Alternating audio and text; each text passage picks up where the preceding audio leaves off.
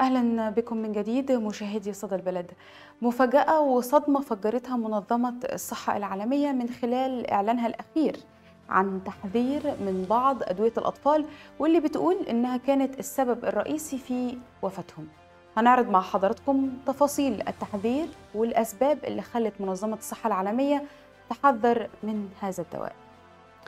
ربطت منظمة الصحة العالمية الحقيقة بين وفاة 66 طفل في جامبيا وبين بعض أدوية السعال الهندية. أصدرت أيضا منظمة الصحة العالمية تنبيه عالمي من أدوية السعال واللي تسببت في وفاة 66 طفل حتى الآن في جامبيا. والكلام ده وفقا لمنظمة الصحة العالمية.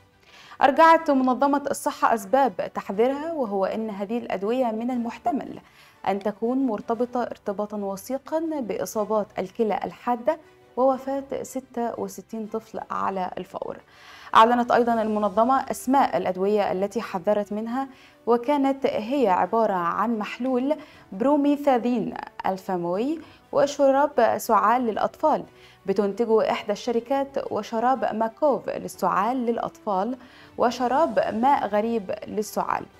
الأدوية دي الحقيقة صنعتها شركة هندية تدعى ميدينا فارماسيتيكال وما قدمتش أي ضمانات على صحتها. لكن من ناحية تانية أجرت وزارة الصحة الهندية تحقيق عاجل وفوري بعد إعلان منظمة الصحة العالمية. ومش بس كده لا كمان طلبت من منظمة الصحة العالمية مشاركة الأدلة التي عندها عشان تبين مدى الصلة ما بين الأدوية ووفيات الأطفال. في حالة تبين ارتباط الأدوية دي بالوفيات اللي حصلت في جامبيا حتما هتكون ضربة موجعة جدا لصورة الهند باعتبارها صيدلية للعالم.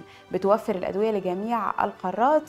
والحقيقة برضو منظمة الصحة العالمية قالت في تحذير نشرته خلال موقعها على الإنترنت إن المنتجات الأربعة وجدت في جامبيا لكن ربما وزعت من خلال أسواق غير رسمية هناك على دول أو مناطق أخرى.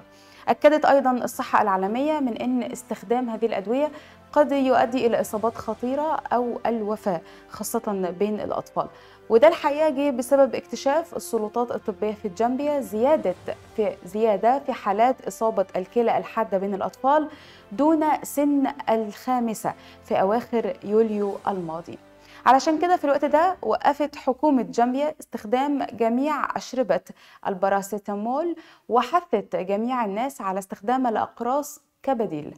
أثبت التحليل المخبري لعينات منتجات أدوية السعال أنها بتحتوي على كميات غير مقبولة من مادة الإيثيلين جلايكول والإيثيلين جلايكول هي مواد ملوثة.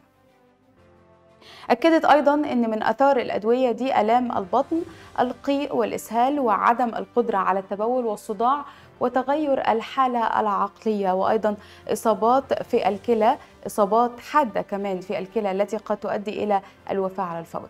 علشان كده حذرت منظمة الصحة العالمية أن تعرض العالم لهذه الأدوية آه، أو هذا آه، هذه هذا الدواء. طبعا كان ممكن ان تعرض العالم ليه بيكون بشكل كبير جدا لأن الشركة المصنعة ربما تكون استخدمت نفس المواد الملوثة في منتجات أخرى ووزعتها أيضا محليا أو صدرتها دوليا.